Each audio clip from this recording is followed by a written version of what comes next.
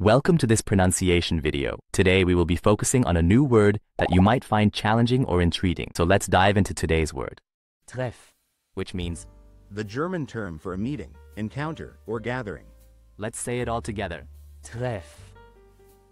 Treff. Treff. One more time. Treff.